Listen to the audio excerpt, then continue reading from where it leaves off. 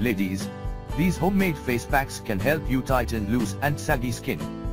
You need to take care of your skin more vigorously after 30 because as you age your skin begins to loosen and sag.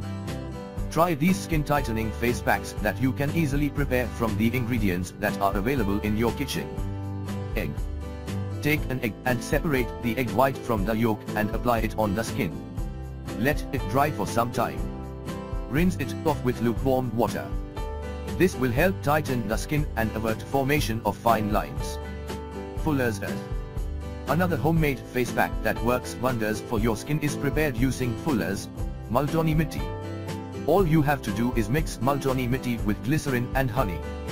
Mix all the ingredients well and then apply this mixture on your face. Rinse with cold water. Honey.